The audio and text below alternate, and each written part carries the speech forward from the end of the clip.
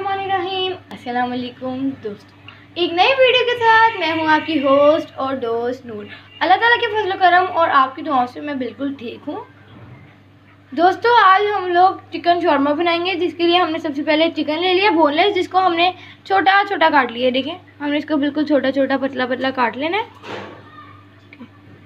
और अब लोग, हम लोग चिकन की मैरिनेशन करेंगे, जिसके लिए हमें सामान चाहिए। हाफ़ से भी कम टेबल स्पून गार्लिक चाहिए। हाफ़ टेबल स्पून पिसी हुई काली मिर्च चाहिए, हाफ़ टेबल स्पून पिसा हुआ हरा धनिया चाहिए, हाफ़ टेबल स्पून पिसी हुई गरम मसाला चाहिए, half tablespoon chilli flakes चाहिए, हाफ़ टेबल स्पून नमक चाहिए, हाफ़ टेबल स्पून पिसी हुई लाल मिर्च, एक चम्मच विनेगर, एक चम्मच सोया सॉस, एक चम्मच चिली सॉस चाहिए। अब हम लोग चिकन की मैरिनेशन करेंगे।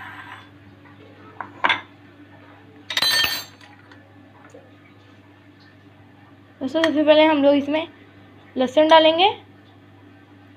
हमने हाफ़ से भी कम टेबल स्पून लहसुन डाल दिया। अब हम लोग इसमें काली मिर्च डालेंगे पिसी हुई। अब गरम मसाला डालेंगे पिसा हुआ। अब हर धनिया डालेंगे पिसा हुआ। नमक डालेंगे। चिली फ्लेक्स डालेंगे और लाल मिर्च डालेंगे।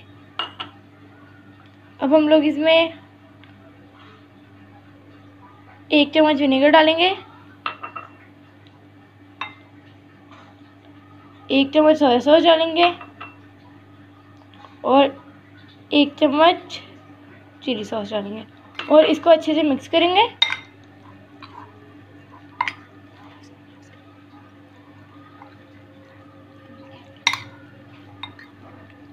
हम चिकन को अच्छे से मिक्स करने के बाद हम इसको कम अज़ कम दो घंटे के लिए फ्रिज में रखेंगे मैरिनेट होने के लिए। और फिर हम लोग निकाल के इसको फिर हम लोग फ्राई करेंगे। तो हमारा चिकन मैरिनेट होने के लिए हमने फ्रिज में रख दिया है। तब तक हम लोग ने अपना सैलेड तैयार कर लिया जिसमें हमने थोड़ी सी गाजरें ले ली हैं, थोड़ा सा कोकम्बर ले लिया है और थोड़ी सी कैबेज ले लिया है, जिनको पतला पतला काट दिया हमने। अब हम इसको भी साइड में रखते हैं और हम सॉस बनाते हैं शौरमा में डालने के लिए। सबसे पहले हम जो सॉस बनाएँगे वो मायो सॉस है। हमने मायोनीज़ ले लिया, उसको हम लोग एक बाउल में पूरी मायोनीज़ को हम बाउल में डालेंगे, अच्छे से साफ़ कर लेंगे आल को। और दोस्तों, जैसा कि आप लोग देख सकते हैं कि हमने मायोनीज़ को अच्छे तरीके से मिक्स कर लिया है। ये जो मायोनीज़ है, हमने इसको ज़्यादा थिक नहीं रखना। और अगर ये ज़्यादा थिक हुआ तो हम इसमें थोड़ा थोड़ा पानी डालते जाएँगे, जैसे हम बिल्कुल थोड़ा पानी डालेंगे इसमें और इसको अच्छे से मिक्स करेंगे।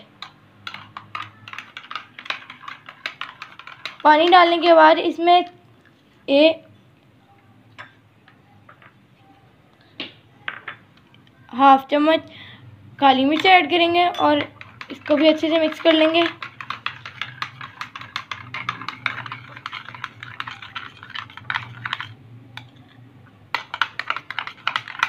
ये दोस्तों, ये कितनी अच्छी लग रही है सॉस दोस्तों, हमने इसको बहुत ही ज़्यादा अच्छे मिक्स करना है। और ये देखें, हमारी सॉस ये वाली वाइट सॉस तो हमारी बिल्कुल रेडी है। अब हम शॉर्मे में जो रेड सॉस डलती है ना, वो तैयार करेंगे। देखें, हम इसको साइड पे रखेंगे। पानी साइड पे रखेंगे। काली मिर्ची रख देंगे। और दोस्तों वाइट सॉस के लिए हमें जो चीज़ें चाहिए, उसमें हाफ़ टेबल स्पून कुटी हुई मिर्चें आधा कप केचप, दो से तीन स्पून चिली गार्लिक सॉस और हाफ़ टेबल स्पून काली मिर्च। दोस्तों, अब हम लोग ये सारी चीज़ें एक ब्लेंडर में डाल के ब्लेंड करेंगे इसको और अब हम इसको ब्लेंड करेंगे। तो दोस्तों, जैसा कि आप लोग देख सकते हैं कि हमने सारा सामान जो था, केचप, चिली सॉस काली मिर्चें कुटी हुई मिर्चें वो सब एक ब्लेंडर में डाल दी है अब हम इसको ब्लेंड करेंगे अच्छे से। तो जैसा कि आप लोग देख सकते हैं कि हमने एक चम्मच घी ले लिया, अब हम इसको फ्राई पैन में डालेंगे और इसको अच्छे से गर्म करेंगे और जो सॉस हमने तैयार की थी, वो इस फ्राई पैन में फ्राई करेंगे, इस घी के साथ। जैसा कि आप लोग देख सकते हैं कि दो सॉस तब हमने डाल दिए ये कितना अच्छा लग रहा है। अब हम इसको थोड़ी देर पकाएँगे चूल्हे पे। और फिर इसको डिश आउट करेंगे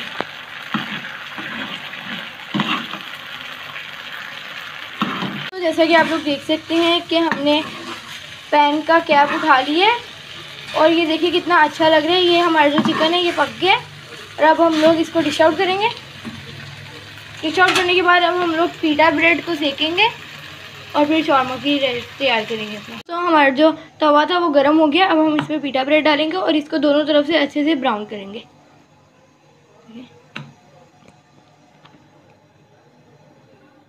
और दोस्तों, हम इसी तरह अपनी सारी ब्रेड्स ब्राउन कर लेंगे और फिर हम लोग शॉर्मा तैयार करेंगे।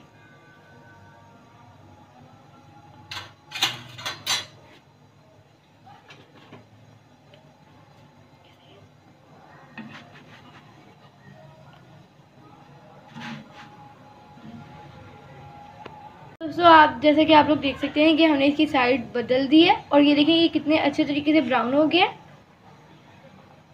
हम दूसरी तरफ़ से इसी तरह ब्राउन करेंगे।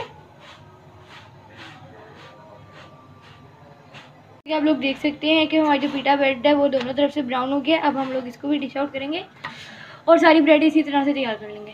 जैसा कि आप लोग देख सकते हैं कि हमारी पीटा ब्रेड ब्राउन हो गया दोनों तरफ़ से। हमने इसको वाइट पेपर पे रख दिया। आप लोग बटर पेपर या फॉइल भी ले सकते हैं। अब हम लोग इसमें सबसे पहले सॉस डालेंगे। और इसको अच्छे से सॉस लगाएँगे।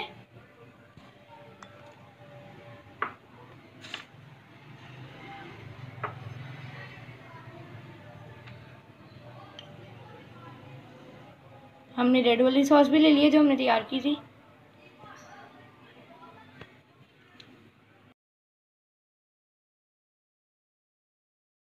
जैसे कि आप लोग देख सकते हैं कि जो सॉस थे, हमने वो लगा लिए हैं। अब हम इसको अच्छे से स्प्रेड करेंगे। आप अपनी ज़रूरत के मुताबिक सॉस कम या ज़्यादा कर सकते हैं। अगर आपको स्पाइसी पसंद है तो आप जो रेड सॉस है, उसको ज़्यादा डाल सकते हैं। मुझे तो वो मायो सॉस ज़्यादा पसंद है, इस वजह से मैं वो ज़्यादा लगाई है।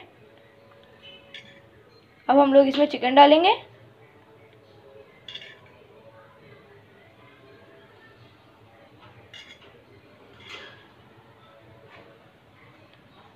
तो दोस्तों, हमने चिकन डाल दिया अब हम लोग थोड़ी सी, बिल्कुल थोड़ी सी गाजरें लगाएँगे और कुकम्बर डालेंगे।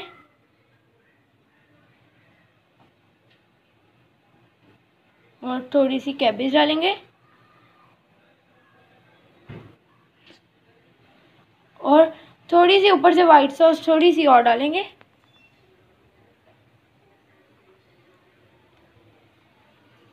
और अब हम इसको रोल करेंगे। अब हम इसे रोल करेंगे। अगर आप रो, आप रोल नहीं कर सकते तो आप इसको ऐसे भी टूथपिक के साथ बंद कर सकते हैं। ओके तो जैसे कि आप लोग देख सकते हैं कि हमने एक शॉर्मा रैप कर लिया है। अब बाकी शॉर्मा भी हम इसी तरह रैप कर लेंगे। तो जैसे कि आप लोग देख सकते हैं कि हमारे जो शॉर्माज हैं वो तैयार हो गए हैं और ये देखने में बहुत अच्छे लगे हैं और खाने में बहुत अच्छे हैं। चलिए अब मैं ट्राई करके बताती हूँ कि शॉर्मास मुझे कैसे लगे।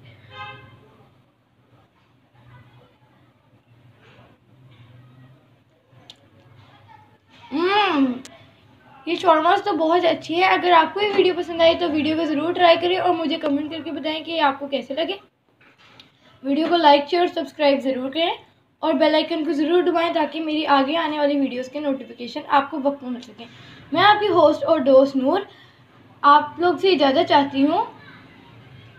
आप मेरे चैनल पे इसी तरह बने रहे एस एस फ़ूड डिलीशियस अगली वीडियो तक के लिए अल्लाह हाफिज़।